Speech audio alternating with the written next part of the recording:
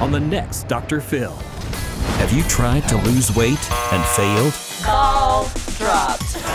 Did you two miss your connecting flight to the show? We saw a Spanx store, Panda Express, and we saw a bar, and that's a big girl trifecta.